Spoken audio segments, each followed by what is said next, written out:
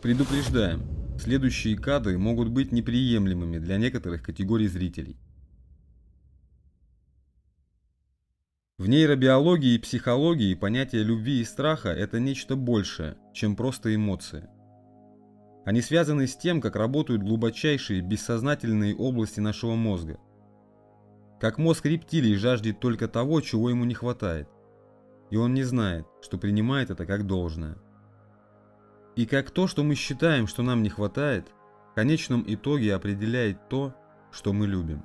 Но когда мы проникаем в сферы нашего подсознания и в ту реальность, из которой оно возникает, перед нами открывается выбор. Самое важное решение, которое мы принимаем, заключается в том, верим ли мы, что живем в дружественной или враждебной вселенной. Хотя эта цитата Альберта Эйнштейна звучит убедительно, нам стоит задаться вопросом, Почему человек с его глубоким интеллектом специально утверждает, что это самое важное решение, которое мы принимаем? Этот документальный фильм отвечает на этот вопрос. Автор и исследователь Атон. Перевел и озвучил Дарсигов Рашид. Спонсор этого фильма – Атон Маркет. Только в области нейробиологии ежегодно публикуются десятки тысяч работ. Наши знания и понимание внутренней работы нашего ума и нашей Вселенной расширяются с поразительной скоростью. Если вы ищете рациональные ответы на фундаментальные вопросы о сознании, этот документальный фильм может изменить вашу жизнь.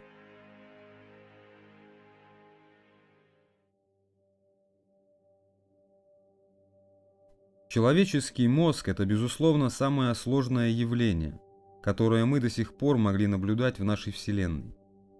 И после десятилетий работ в нейробиологии у нас все еще есть бесконечные вопросы об этой загадочной структуре, которая содержит столько нейронов, сколько звезд может быть в нашей галактике. И все же нам не нужно далеко углубляться в гипотезы, или прибегать к суевериям, чтобы ответить на некоторые из наших глубочайших вопросов.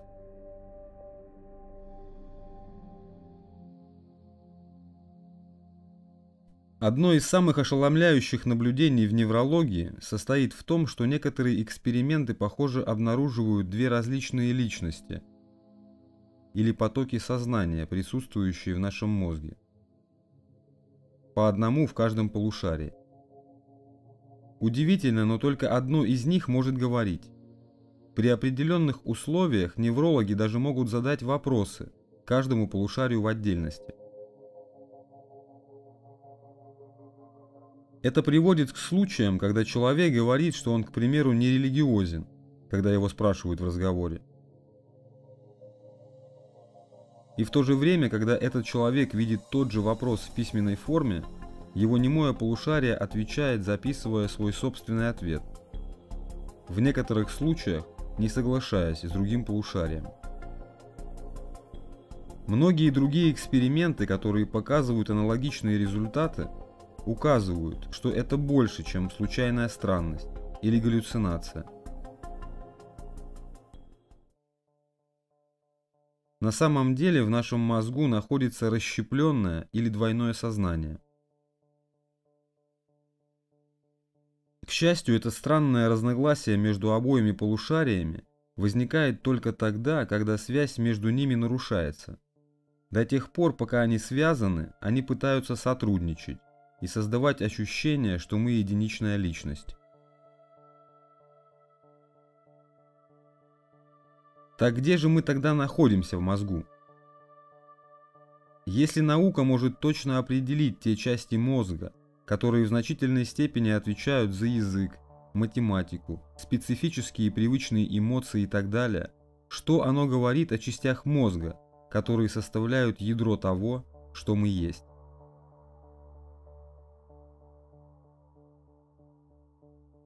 Ученые, несмотря на все усилия, не только не смогли обнаружить такую область мозга, но даже все свидетельства указывают на то, что этого ядра не существует.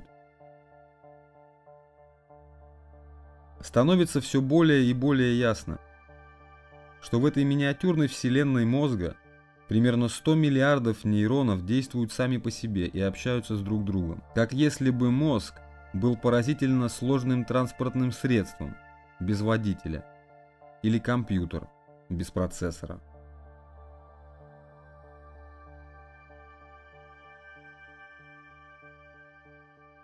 В нашем стремлении найти некое ядро того, что мы есть, мы могли бы также заглянуть еще глубже и приблизиться к самым основным строительным блокам того, из чего состоит наш мозг. Но если мы заглянем в отдельные молекулы, из которых состоят наши нейроны, наши открытия станут еще более противоречивыми.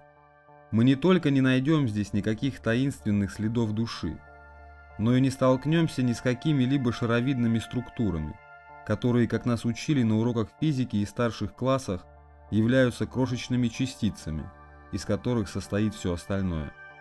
Возможно, вы слышали, что примерно 99,9% всей твердой материи – это не что иное, как пустое пространство. Это правда.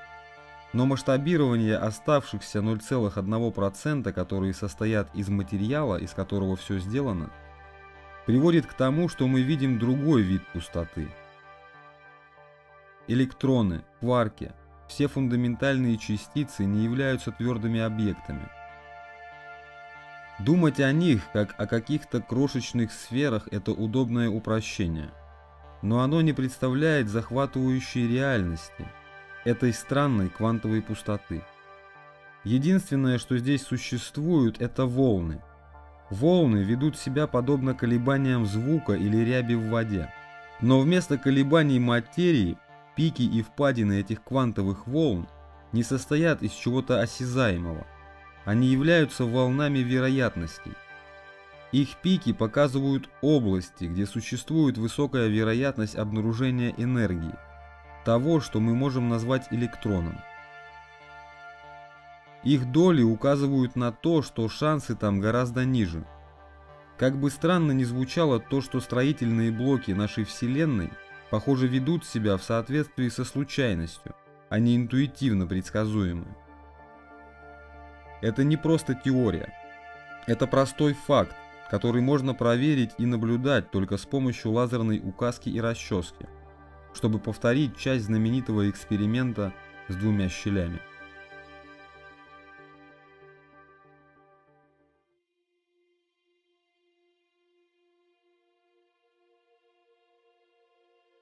Контринтуитивность этого открытия была корнем популярных неверных интерпретаций и метафизической путаницы, когда его описывали как частицы, осознающие и знающие, что они наблюдаются, или Вселенную, находящуюся под влиянием силы нашего мышления. Правда не менее увлекательна. Действительный принцип работы состоит в том, что если мы можем знать, где находится частица – она существует только как волна вероятности, которая говорит нам, где частица более или менее вероятно будет найдена. И только когда мы примем меры, чтобы измерить, где частица могла бы быть, волна внезапно перестает существовать, и частица проявляет себя. Частица не имеет определенного местоположения, пока мы не сделаем измерения.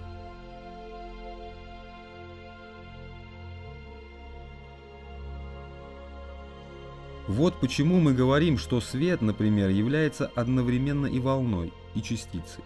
Но эта квантовая странность применима не только к свету, она применима ко всем частицам, из которых все состоит. Это относится даже к молекулам. Если вместо фотонов мы будем стрелять сверхмалыми камнями, они будут вести себя как волны, когда мы их не измеряем. Мы интуитивно верим, что наша Вселенная состоит из твердого вещества. Но на самом деле все это от нейронов до нашего мозга, до галактики, частью которой мы являемся, является результатом вероятностных волн и частиц, которые проявляются и исчезают. Все эти странности привели Эйнштейна к знаменитому высказыванию Неужели вы действительно верите, что Луны нет, когда вы на нее не смотрите? Но как бы это ни было странно, квантовая теория и все экспериментальные данные показывают, что наша Вселенная по всей природе вероятностна, и вещи в ней не могут быть предсказаны со стопроцентной уверенностью. Это не значит, что наука не может дать точных оценок того, что более или менее вероятно. Математика и статистика квантовой физики показывают, что кажущиеся случайными колебания, составляющие нашу реальность, все еще являются глубоко и идеально согласованными закономерностями. Многие из наших технологий, такие как солнечные батареи или микропроцессоры, были бы невозможны, если бы мы не расшифровали большую часть сложного и уникального поведения квантовой механики.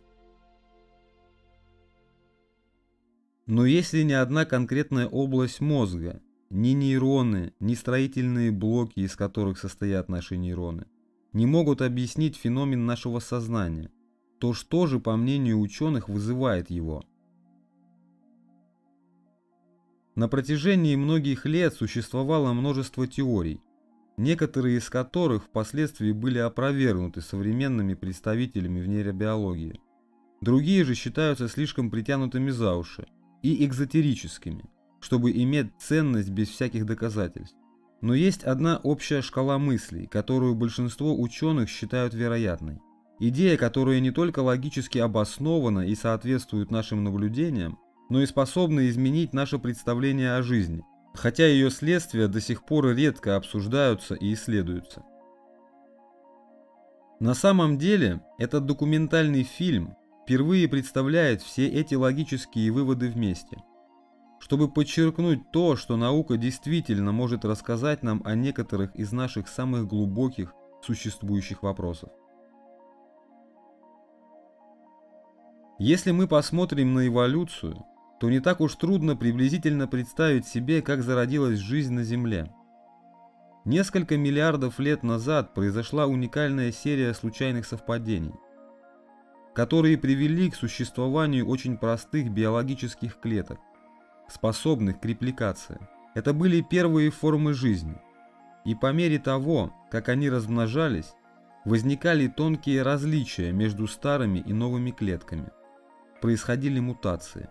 Мы видим это в генетике потомства, с каждой известной нам формой жизни. И мы можем проследить это в останках и окаменелостях не только животных и растений, но иногда даже бактерий. Микроскопические кристаллы и окаменелости дают нам представление о жизни на Земле до появления первых растений или даже водорослей.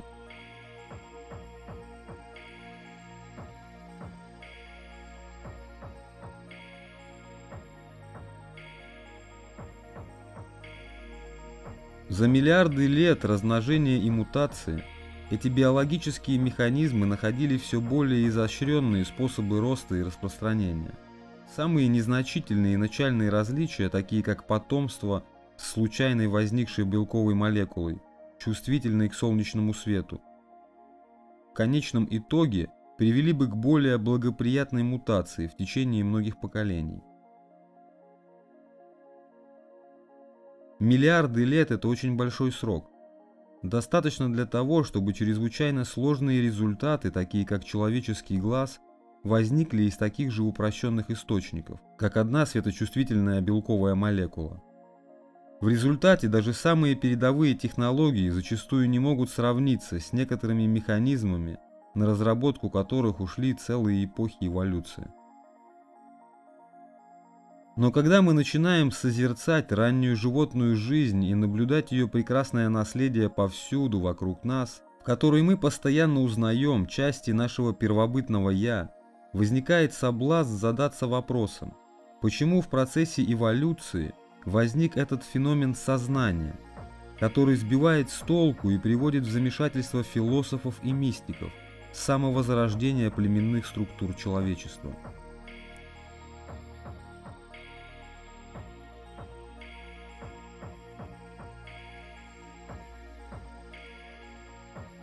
Подходя к этому с научной точки зрения, мы можем допустить, что неуловимая природа сознания стала причиной отказа от попытки понять его.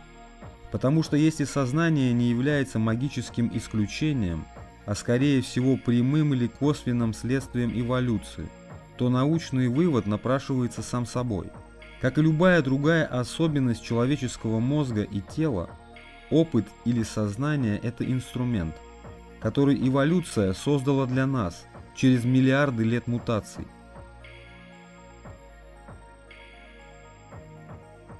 Сознательные формы жизни показали более богатую способность к обучению и корректировке курса. Таким образом, эволюция благоприятствовала этому развитию и взращивала его до такой степени, что мы становились чувствительными, самоосознающими и способными интерпретировать наши собственные эволюционные побуждения и нашу цель таким образом, который может пойти даже против нашего собственного выживания, если мы так выберем.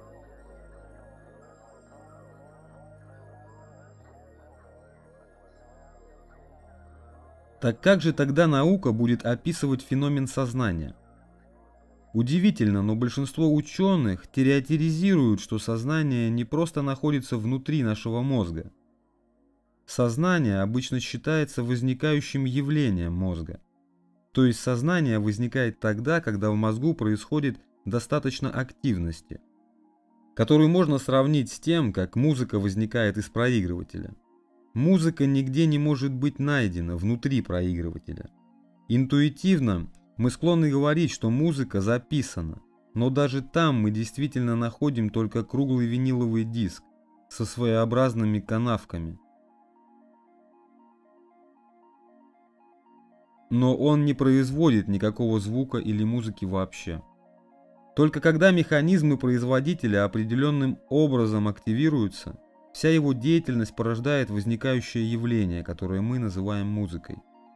Сознание в чем-то похоже. Мы не можем физически локализовать его в одной точке или в одной области. И если мы увеличим масштаб серого вещества нашего мозга, мы найдем столько же свидетельств сознания, сколько мы находим крошечных шариков внутри молекулы, которая вообще не является таковой. И все же, когда миллиарды нейронов активируются и взаимодействуют с друг другом, Сочетание этого огромного количества активности создает феномен, который называется сознанием. Но, по-видимому, это далеко не полный обзор того, что приводит к этому. Потому что есть неизбежное следствие, которое все усложняет до невероятной степени.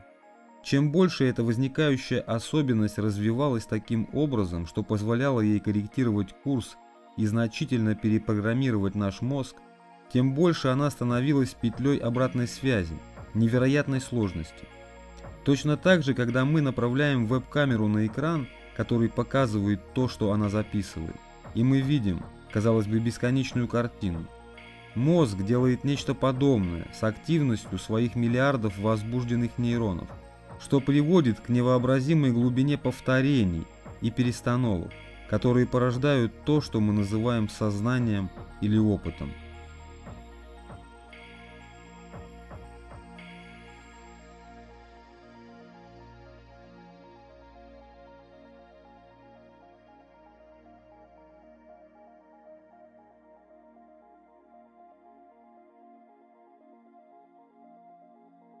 И этот опыт не цель, а просто конечный инструмент, которым располагает наш мозг, чтобы найти свой путь и справиться с последственными моделями нашей реальности.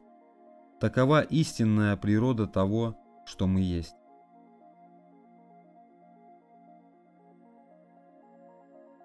Мы непостижимо сложное взаимодействие того, что кажется бесконечными петлями нервных процессов. Наша сущность возможно, имело скромное начало, но оно показательно росло на своем пути вниз по кроличной норе, бесконечного отражения себя и обучения от каждого зеркального отражения.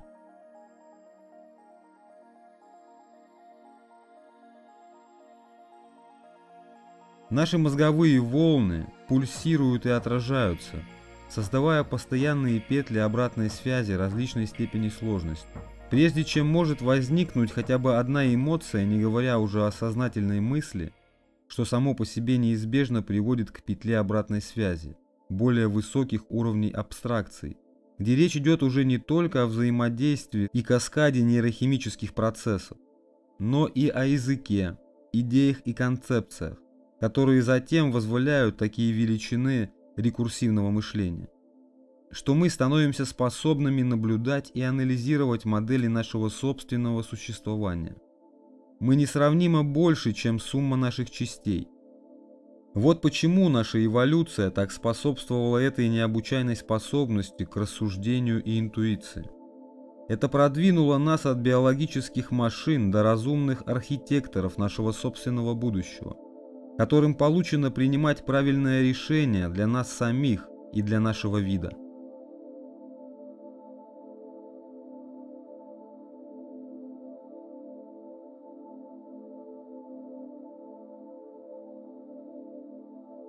Мы являемся петлей обратной связи, которая в зависимости от того, как мы выберем жить, в большей или меньшей степени осознает свои собственные процессы.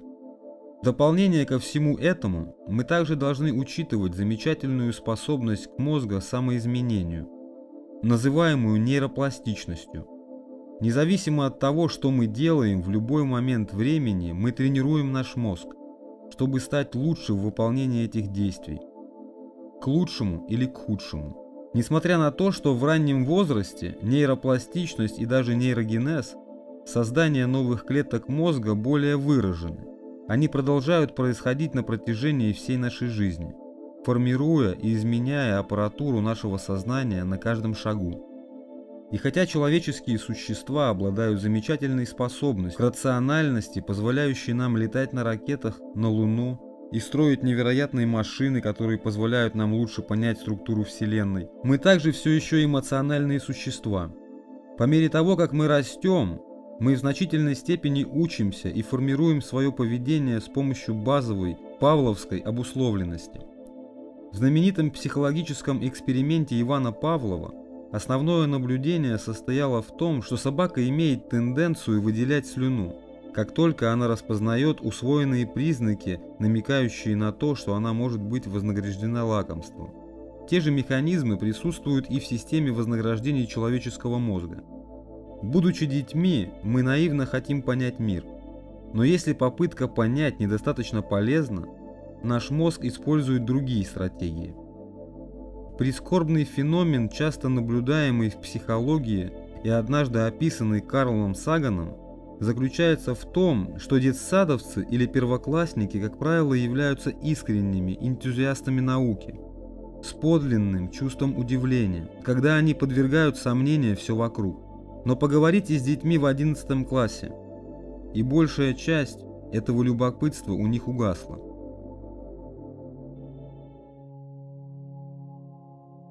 Если наша естественная склонность логически сомневаться отпадает, и вместо этого мы вознаграждаемся за действия, которые часто не понимаем, мозг приспосабливается к этому и постепенно отказывается от самостоятельного логического исследования. Вместо этого мы непропорционально стремимся добиваться одобрения других. Наши мнения, наша идентичность, наш образ жизни в конечном итоге зависят от того, как нас оценивают наш социальный круг – и общество в целом. Во время записи этого документального фильма есть много обсуждаемых тем, таких как фейковые новости, постправда и так называемые альтернативные факты. Но это всего лишь симптомы гораздо более глубокой проблемы, которая выходит за рамки дезинформации и несовременных алгоритмов социальных сетей.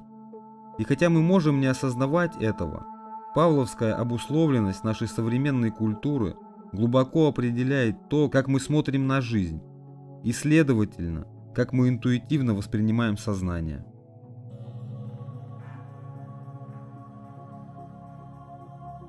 Чтобы понять, насколько культура постоянно развивается и в то же время формирует наше поведение и убеждения, может быть полезно посмотреть, как много изменилось даже в недавней истории.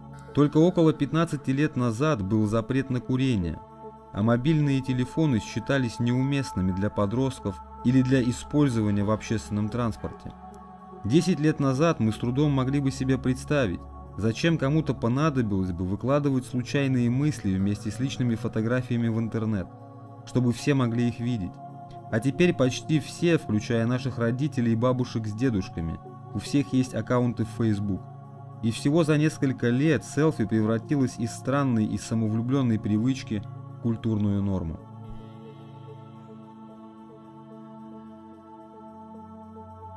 Около 300 лет назад люди клеймили бы большую часть наших самых обычных рутинных действий, как эгоистичные, упадочные и морально испорченные. Столь же тривиальный и наивный поступок, как покупка коробки наших любимых хлопьев, могли бы попасть в эту же категорию. Общество постепенно совершенствуется и развивается в течение большого периода времени. Наша культура проходит много поворотов – некоторые из которых приближают нас к тому, чтобы ценить факты выше вымысла, а некоторые из которых наоборот. Тем не менее, наша обусловленность закладывает большую часть фундамента для операционной системы нашего мозга.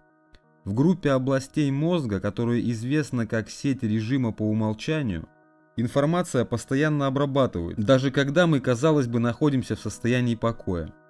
Отчасти именно поэтому социальная обусловленность может оказывать на нас глубокое воздействие, даже когда мы не осознаем этого. Наша современная господствующая культура в целом определяется как индивидуализм, который недавно появился в промышленной революции. Как и в предыдущие эпохи, мы заходили так далеко, что иногда переписываем историю, чтобы соответствовать нашему текущему повествованию. И мы используем древние высказывания, такие как «лови момент», чтобы поддержать наши убеждения. Полное предложение старой латинской поэмы приблизительно переводится так «Делайте то, что вы можете сделать сегодня, чтобы завтрашний день был лучше». Это не имело никакой связи с потыканием личным желанием. В то время как наш научный прогресс может многое рассказать нам о мозге, и даже о значительной степени осознания. Наша культура в настоящее время не так сильно ориентирована на попытки понять, кто мы такие. Вместо этого культура больше сосредоточена на праздновании преследовании модных личных интересов. Начиная от материальных ценностей, чтобы произвести впечатление на наш круг общения, и от мгновенных острых ощущений, желание индивидуализма и свобода следовать ему – это в настоящее время наш самый заветный идеал. Многие аспекты нашего общества, прежде всего наша экономика, зависят от нашего стремления к этим популяризированным целям. Помимо редких исключений, такие как футуристические телесериалы о едином человечестве, работающем над развитием вида, Культура имеет способ погружать нас в сигналы, которые заставляют нас верить, что то, как мы в это время воспринимаем вещи, это просто то, как это было всегда и как это должно быть. Не так давно мы верили, что цветные люди всегда уступают белым. Мир всегда плоский, а небеса всегда контролируются богами такой культурной среде, как эта, система вознаграждения мозга становится в некотором смысле оторванной от своей цели. На протяжении всей эволюции способы, которыми наша ДНК мутировала и наш мозг расширялся, были частью одного и того же процесса. Все эти механизмы просто пытаются преодолеть препятствия на своем пути. Жизнь фундаментально пытается согласовать себя с реальностью – генетически и биологически, инстинктивно и интеллектуально. Будучи детьми, мы пытаемся приспособиться к реальности, ища одобрения у родителей, учителей и различных культурных влияний.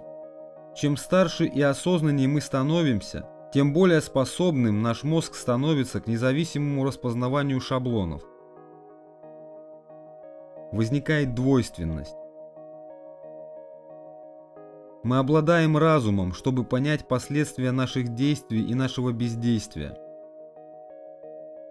И все же наши павловские стремления к вознаграждению тянут нас в других направлениях, например, в соответствии с ожиданиями общества и семьи.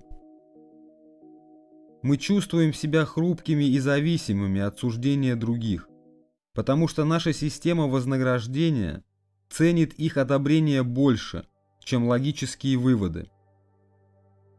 Мы не испытываем особого удовлетворения или даже разочарования, когда действуем на основании собственного независимого рационального суждения. Эта запутанная двойственность является естественным следствием общества, в котором мы никогда по-настоящему не взрослеем. Мы ищем одобрения наших поступков, когда мы молоды. Мы продолжаем искать одобрение тех сил, которые берут верх, когда мы становимся старше.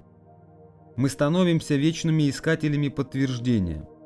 Нейроны группируются вместе, чтобы создать иерархии, которые в конечном итоге определяют то, что мы ценим больше всего.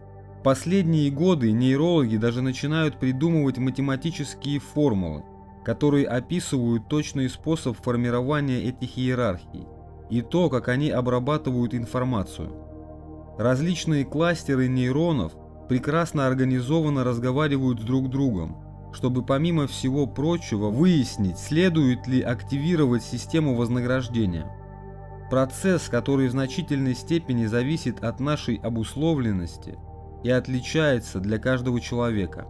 Изучение того, к чему в первую очередь привлекается система вознаграждения, часто делает их поведение удивительно легким для отображения и понимания – мы можем гораздо лучше понять хладнокровие человека, зацикленного на карьере, если успех или социальная поддержка – это то, чего он ожидает больше всего на свете.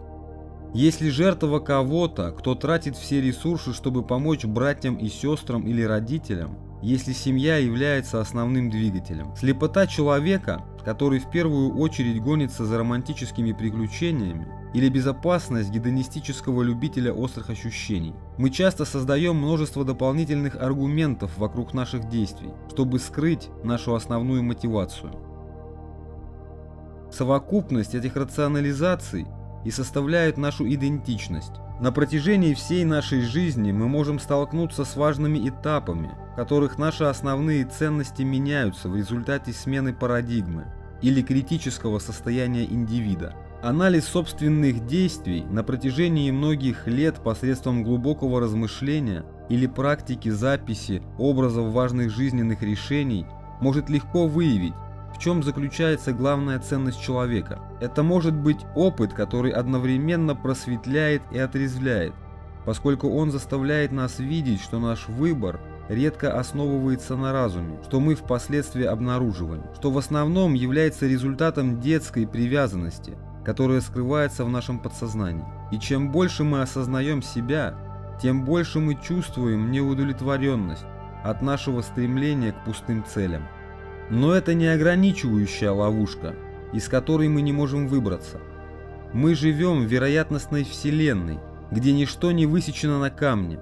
Вместо того, чтобы туманно философствовать о природе свободной воли, мы можем сделать выбор – что петля обратной связи сознания определенно играет активную роль в обработке информации и принятии решений. Она имеет право голоса в том, каковы наши наиболее глубоко укоренившиеся основные мотивации. Концепции и идеи имеют над нами власть только тогда, когда мы эмоционально инвестируем и держимся за них. В свете всего этого знания возникает вопрос, как нам скорректировать свой курс – как мы действительно находим смысл в своей жизни и испытываем такое удовлетворение, которое большинство из нас, кажется, только мельком видит время от времени. Оказывается, что наука имеет больше ответов на эти вопросы, чем принято считать.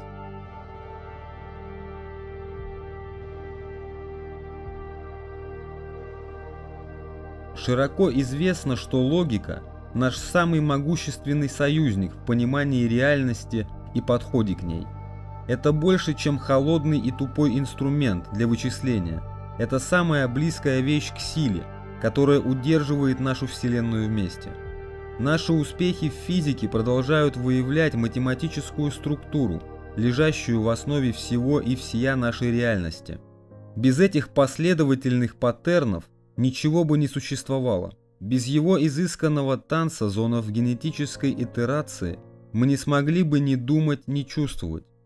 Мы часто рассматриваем логику как противоположность эмоции, но вместо этого она является двигателем наших эмоций и дает надежные ответы, когда мы расстроены или смущены.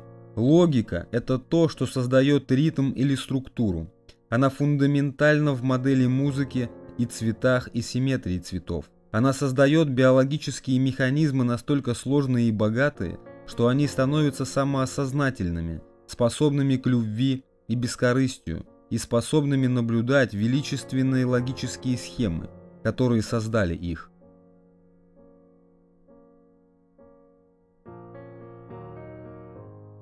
Мы можем проследить наше происхождение и молекулы в нашем теле до звезд, в которых они были созданы, и увидеть, что мы все связаны. За миллиарды лет эти молекулы превратились в сложные единицы, которые мы называем человеческими существами. Эти единицы подобны клеткам в теле человечества, запрограммированные на эволюцию и движение вперед. Вот почему у нас есть глубокое желание найти смысл – найти экзистенциальное равновесие. Эволюция фундаментально запрограммировала нас так, что мы хотим, чтобы наши убеждения соответствовали реальности. Логика – это в некотором смысле главная директива нашего сознания. Мы должны ценить его как таковое, если хотим вырваться из тисков пустых механизмов вознаграждения.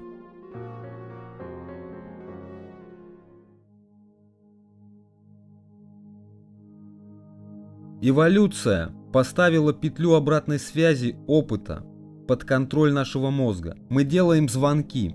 И хотя мы интуитивно ориентируемся в реальности с помощью компаса нашей системы вознаграждения, мы можем изменить то, как эта система работает.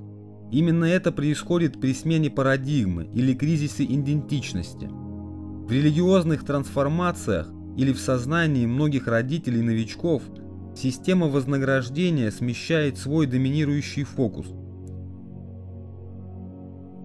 Легко мыслить абсурдными стереотипами, когда мы представляем себе человека, прежде всего движимого логикой. Но для людей было бы нелогично подавлять эмоции или игнорировать человеческие потребности. Вместо этого то, что логично для людей, это действовать наиболее эффективными способами на благо самих себя и человечества.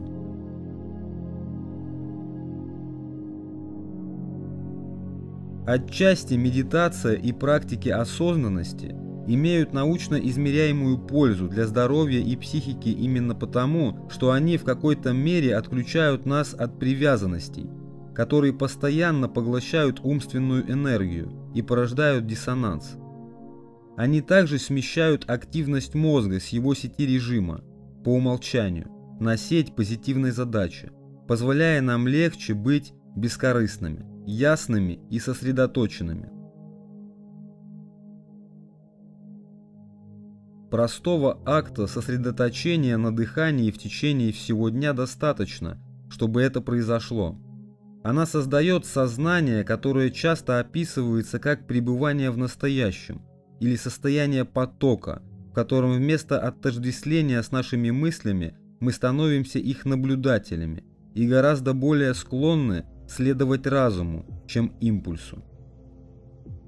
Мы становимся более способными корректировать свои убеждения и делать сознательный выбор, который перестраивает нашу систему вознаграждения – мы можем наблюдать явные улучшения в том, как на протяжении веков общие подсознательные базовые ценности отошли от таких вещей, как суеверие.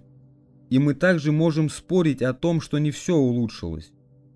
Когда-то мы ценили бескорыстие и вклад гораздо больше, чем собственную индивидуальность. Возможно, в какой-то момент в будущем наши культуры найдут общий язык, просто оценивая логику. Как общество мы в настоящее время все еще слишком одержимы нашими собственными маленькими предпочтениями и различиями, чтобы сделать такой резкий скачок. Но как индивидуумам нам повезло жить в такое время, когда у нас есть свобода отвергать поверхностные идеалы, если мы так хотим.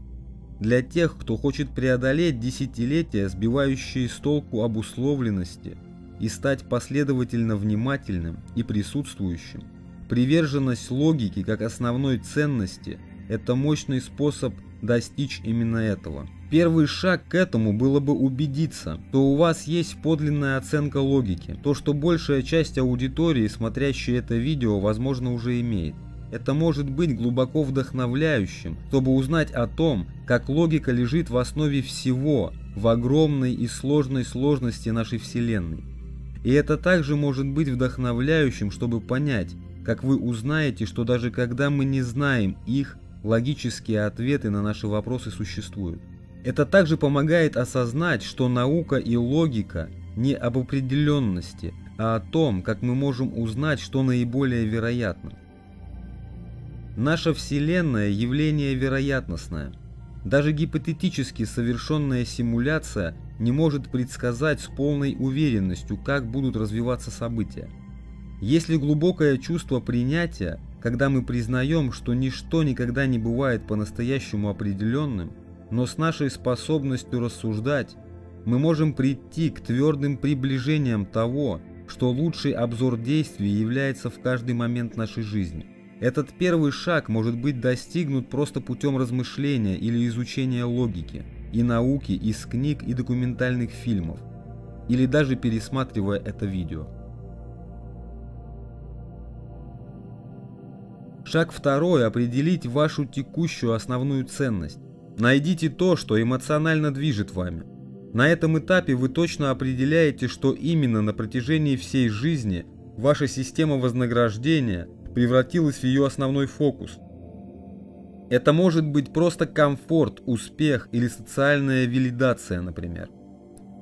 Сознательный скачок к принятию логики в качестве основной ценности – это шаг третий. Это решение касается не просто внедрения новых привычек, а скорее фундаментального обязательства делать правильные вещи в любое время, в зависимости от ваших знаний и логических связей, которые вы делаете.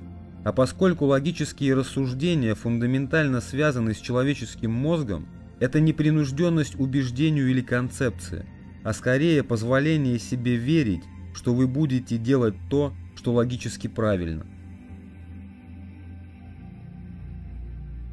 Найти в себе мужество и действительно сделать этот скачок может быть эйфорическим и освобождающим опытом.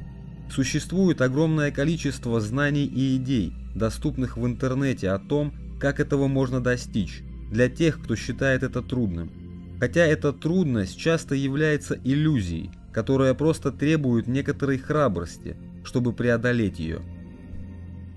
До сих пор среди людей, прошедших через эту трансформацию, было замечено, что те, кто в конечном счете совершают этот скачок с намерением повысить свой опыт, в конечном счете теряют это новообретенное сознание и борются со своей приверженностью ему. Это происходит не из-за недостатка дисциплины, а скорее из-за фундаментального непонимания сознания – которым мы глубоко обусловлены. Это заблуждение, которое большинство из нас никогда не вербализует и даже не осознает, и которое лежит в основе наших неправильных представлений о нашем опыте.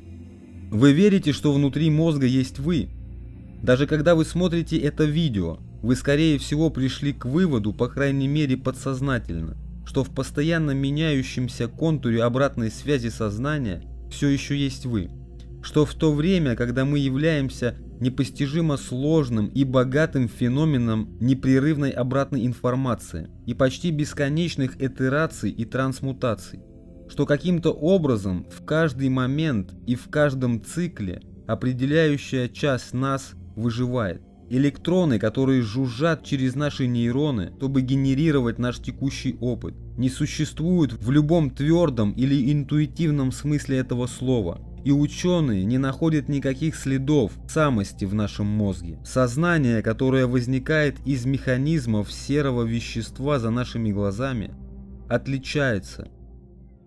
Истина заключается в том, что каждое мгновение мы являемся новой сущностью, которая существовала только в течение этого единственного мгновения и никогда не проявит себя снова. Ни один опыт не может быть по-настоящему воспроизведен. Ни одна идентичность не может отражать постоянно меняющуюся с энергию. И нет никакого «я», которые могли бы сохраниться в бесконечном потоке опыта, даже на мгновение. Единственное место, где находится некоторое представление о воображаемом «я», находится в белках, которые были синтезированы, чтобы хранить память о моменте, который когда-то произошел. Как если бы петля обратной связи, сознания в этот момент написала в механизме наших нейронов «я был здесь», чтобы следующая итерация, следующая петля, из которой возникает новый опыт, могла бы учиться у него. Но от фиксации на ошибках концепция того, что мы есть, на историях фантома, который мы определяем как «я». Мы не знаем ничего ценного. Удивительно, что иногда наука и древние эзотерические мудрости встречаются. Идея о том, что подлинного «я» не существует, не нова, но она логична и получила большую научную поддержку, чем другие школы мысли.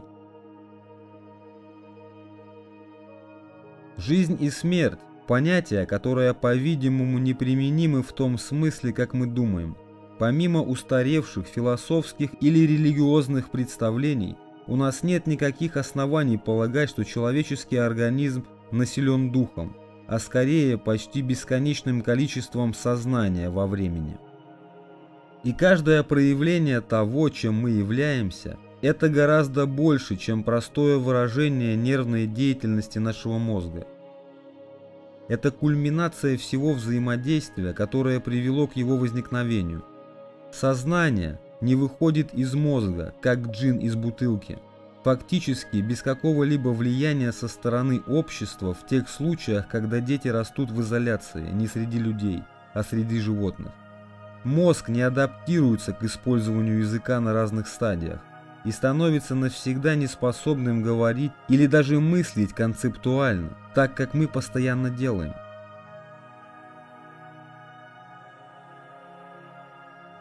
Так много из того, что мы склонны называть внутренней личностью, не может существовать даже на базовом уровне, без достаточного взаимодействия.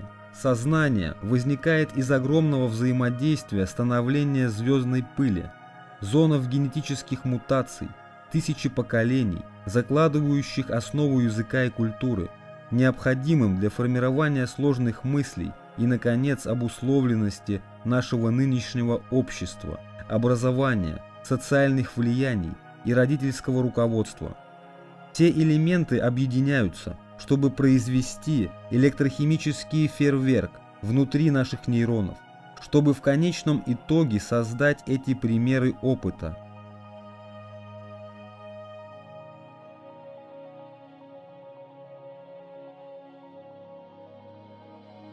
Все это взаимосвязано. И нет никаких границ. Ничто не является внешним. Даже с базовой неврологической точки зрения все происходит в нашем сознании. Поэтому неудивительно, что наиболее интеллектуально и эмоционально удовлетворенное программирование, которое наш мозг способен выполнять, в основе своей бескорыстно. В великом взаимодействии всех вещей становится яснее всего – что наш опыт – это инструмент. Чем больше мы разбираем головоломку нашего воображения «я», тем легче мы принимаем наше эволюционное стремление заботиться о других, и тем больше мы способны понять зловещую основу нашей индивидуалистической обусловленности. Наша история полна примеров, когда отсутствующие нарративы успешно гипнотизируют нас – до состояния самодовольства и бездействия, пытаясь ослепить или отвлечь от причиняемого ущерба. Некоторые из наиболее знаковых примеров, которые приходят на ум, Холокост и рабство, имели место в течение последних нескольких поколений. Но наш внутренний, эгоистичный монстр, которого мы создаем как механизм преодоления наших страхов и неуверенности – не отражает того, что мы есть на самом деле. Даже несмотря на то, что его влияние глубоко, поскольку мы начинаем процесс идентификации и навешивания ярлыков на себя очень рано в жизни. Будучи детьми, мы не знаем ничего лучшего, и мы часто заканчиваем тем, что обвиняем в себя в вещах, которые были либо вне нашего контроля, либо в действиях, которые мы еще не знали последствий. Мы постепенно и подсознательно создаем ошибочные убеждения, которые препятствуют нам. Но за всем этим остается то, что аналитическая психология называет внутренним ребенком. Вот почему многие формы терапии и медицины фокусируются на том, чтобы видеть наши мысли и эмоции, даже наш ум, как нечто отдельное от нас.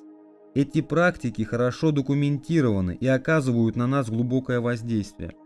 Чем более мы внимательны, тем легче мы видим наши собственные ценности и убеждения в качестве наблюдателя, что позволяет нам изменить те, которые нас сдерживают.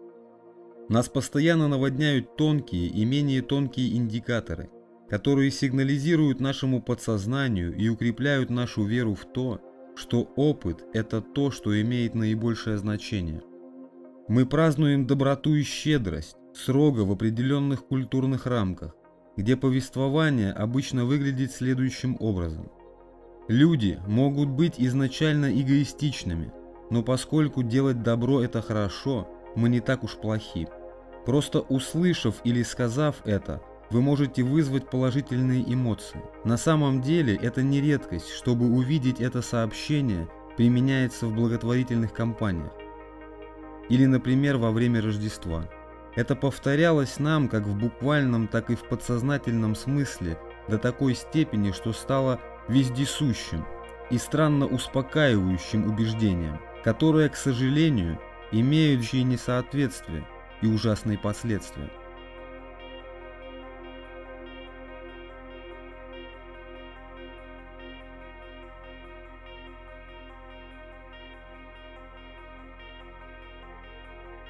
Это негласный лозунг индивидуалистической идеологии, которая программирует послушных потребителей, заботиться только о том, чтобы они сами приносили пользу.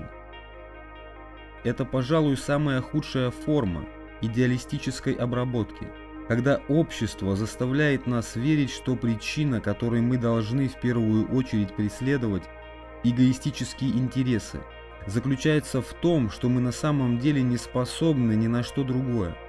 Когда мы вырастаем, это становится самореализующимся пророчеством, потому что ценя опыт превыше всего, мы законно превращаемся в популяцию эгоистичных трутней – и в лучших традициях культурного послушания многие из нас защищают себя, когда слышат заявления о бескорыстных поступках. Многие из нас говорят, что такие вещи на самом деле не существуют. Игнорируя даже самых очевидных и распространенных сценариев родителей, которые действительно заботятся о своих детях и с удовольствием снижают качество собственного опыта для них. Именно здесь мы неловко улавливаем проблески неловкого и невысказанного соглашения, которое связывает нас. Мы знаем, что наша идеология – это фасад, коллекция оправданий, которые мы позволяем себе и друг другу, чтобы уйти безнаказанными. Один процент может принести наибольшую пользу, но величайший заговор современной цивилизации не исходит сверху. Это сотрудничество, с которым мы все подсознательно согласились и иногда осознаем его неловко. В этой экосистеме редкие исключения тех, кто в какой-то момент действительно ценит что-то большее, чем опыт. Но какое-то время они могут почувствовать пробуждение, сражаясь за правое дело или пожертвовать своей роскошью ради благородной цели. Но как только они несколько обдумывают свои действия в более широком контексте, компас их опыта или интуиции не может дать убедительных ответов относительно того, действительно ли они делают то, что правильно, делая их усилия неустойчивыми. Мы прибегаем к оправданиям, которые широко приняты. Мы почти полностью верим, что действительно должны доверять и ценить наш опыт превыше всего – и это делает нас глубоко уязвимыми для всех видов манипуляций. Правительство и корпорации могут диктовать наше поведение даже без продуманных стратегий, или заговоров. Политики могут напугать нас оскорбительно неточными утверждениями, и мы с удовольствием потребим ядовитые вещества, если они будут представлены вместе с образами смеха и радости.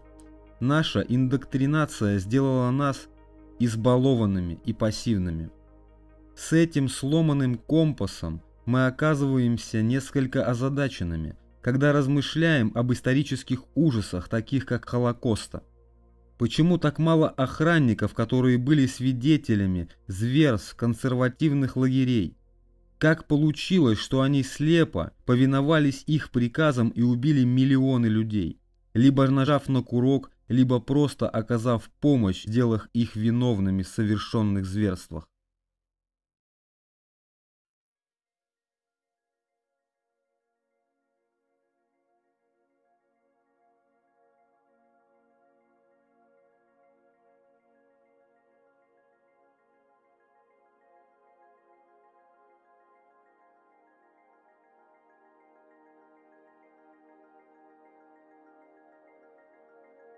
Индокринация может сделать нас невежественными, а сон разума может породить чудовищ.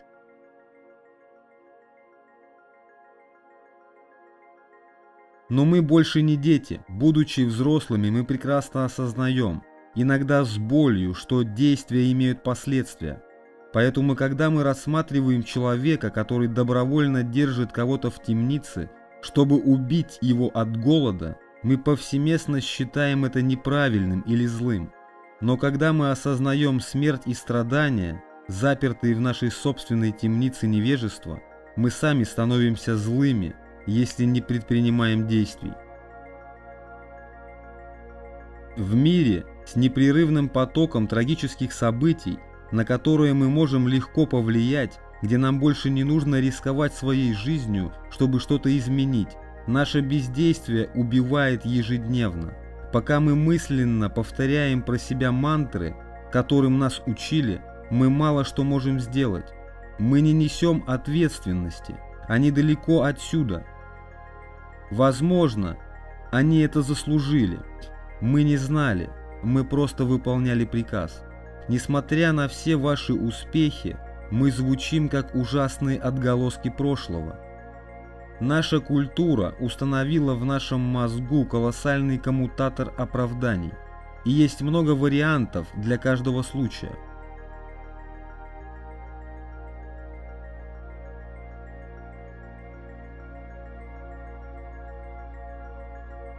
Большинство из нас стареют, но не взрослеют, потому что не в интересах нашего общества по-настоящему вести нас к зрелости – Таким образом, мы объединяемся в том, как мы оправдываем наше поведение и молчаливо соглашаемся скрывать лицемерие друг друга. Конфронтация, которые действительно имеют место, наталкиваются на пустую защиту. А как же ты? А как же правительство? Я должен думать о своем будущем. Это меня оскорбляют. Таково мое убеждение, это мое мнение – Но независимо от того, выступаем ли мы против глобального потепления или вакцинацию, за социализм или капитализм, за социальную справедливость или против политической корректности, наше мнение и убеждения никогда не диктуют реальность.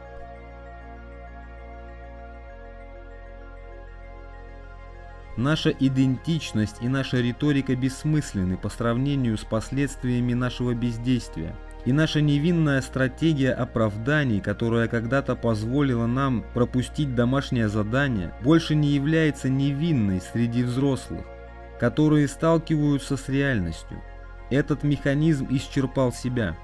Единственный учитель, который теперь имеет власть назначать нам задания и судить о наших оправданиях, это наш собственный внутренний голос разума.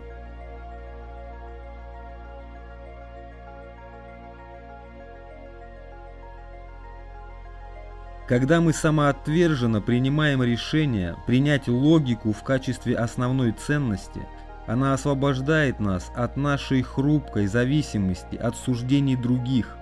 Ответственность – это просто принцип действий в соответствии с нашими постоянно расширяющимися знаниями и рациональностью. Она не зависит от интерсубъективности.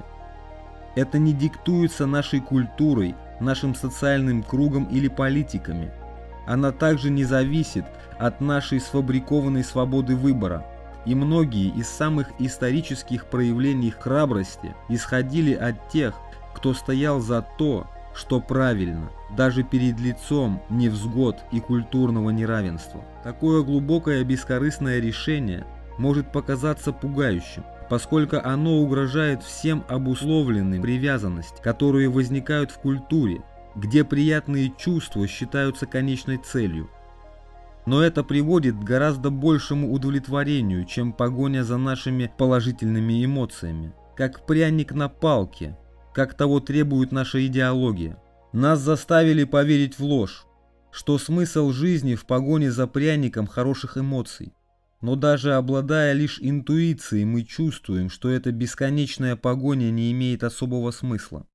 Расплата никогда не бывает достаточно велика, а те, кто предпочитает верить в более бескорыстную и логичную цель, иронически склонны испытывать гораздо больше удовлетворения в своей жизни. Это принцип, который вдохновил древние духовные концепции, такие как карма или рай и ад. Те, кто больше всего заботятся о своих собственных индульгенциях, в конечном итоге преследуются или мучаются своими собственными интересами. Но в современной когнитивной психологии это не просто эзотерическая идея. Существует огромный спектр научных исследователей и литературы по этому вопросу, обычно описываемых в терминах дефицита мышления и его противоположности мышления изобилия. Мозг работает в режиме дефицита, когда мы чувствуем, что есть вещи, которых нам не хватает. Это, возможно, один из самых древних механизмов выживания нашего мозга. И было хорошо установлено, что хотя это может обострить наше внимание – оно также имеет тенденцию занимать огромное количество того, что называется умственной полосой пропускания. Он захватывает наш мозг. Это буквально делает нас менее умными, более эгоистичными и даже снижает наш IQ. И каждый день мы подвергаемся взаимодействию почти бесконечного множества социальных импульсов, которые предназначены для того, чтобы запереть нас в этом ментальном состоянии. С самого раннего возраста мы глубоко запрограммированы с набором требований, которые должны быть выполнены, чтобы мы могли испытать изобилие. Требования, которые часто настолько неуловимы, что мы по большей части попадаем в ловушку мышления дефицита. Но как только мы видим, что это может быть достигнуто многими способами, мы способны отличить истину от внушения, рассеять наше замешательство и рассеять нашу апатию. Это ставит нас перед выбором того, как мы ведем свою жизнь. Если мы создаем жизнь вокруг себя, мы предпочитаем видеть все через призму того, что мы можем взять, а не отдавать. Иллюзорную линзу дефицита – мы предпочитаем не видеть изобилия, которое есть повсюду, и наш эгоизм затем поддерживает себя, изобретательно находя поддержку в несправедливости вокруг нас. Если это наш выбор, то наша основная ценность остается эгоистичной, и каждый мотив, стоящий за каждым из наших действий, конечном итоге касается нас самих. Но мы интуитивно чувствуем, что поступаем неправильно, и чувствуем себя недостойными быть по-настоящему любимыми. И мы либо пытаемся примириться с этим, либо поддаемся неуверенности и предпочитаем запутать эту истину. Но если любовь определяется как безусловная отдача, тогда любовь окружает нас со всех сторон. Она находится в структурах, оставленных нашими предками и наследием наших бабушек и дедушек. Все дело в заботе, которую нам дали родители, и в клетках, из которых мы состоим. Именно в социальных структурах и в системе социальной защиты закладываются законы, призванные защитить нас. Это солнце, которое сияет, и бесконечная красота, которая включает нас. Если мы выбираем быть тем, что мы есть, и видеть свою жизнь такой, какая она есть на самом деле, тогда мы понимаем, что речь идет не только о нас. Речь идет о заботе и о том, чтобы делать то, что правильно. Речь идет о том, чтобы отдавать и использовать наше понимание для борьбы с невежеством. Речь идет о доверии к нашей способности сделать это доверие к нашему истинному «Я» и позволяет себе руководствоваться своей интуицией, которая отличает добро от зла. Независимо от того, с какими трудностями мы сталкиваемся, когда наше сердце ведет нас с разумом на своей стороне, наши воображаемые проблемы исчезают. За всем стоит логическая причина, которую мы можем найти. Когда решаем следовать любопытству, когда решаем следовать любопытству, а не страху, мы не должны чувствовать сожаления или вины, когда мы знаем, что наши намерения чисты. И мы сделали все, что могли в то время с тем знанием, которое у нас было. Но все начинается с выбора. Выбор между притворством и честностью, между апатией и заботой, между сфабрикованным дефицитом или изобилием реальности. Выбор между тем, что делать жизнь о себе или видеть, что она не о вас. Выбор, который вы должны сделать. Мир может оказаться холодным и темным местом, когда это знание приводит нас к осознанию эгоистических мотивов, стоящих за действиями людьми, и того, как они заставляют идеалистические движения рассеиваются и распадаются. Но с этими прозрениями те, кто решил делать жизнь вокруг себя, могут искать и доверять друг другу. Этот документальный фильм – иллюстрирует, как каждый имеет этот выбор. Но для этого потребуется глобальное движение, в котором те, кто действительно заботятся, будут действовать, организовываться и объединяться, чтобы добиться реальных перемен.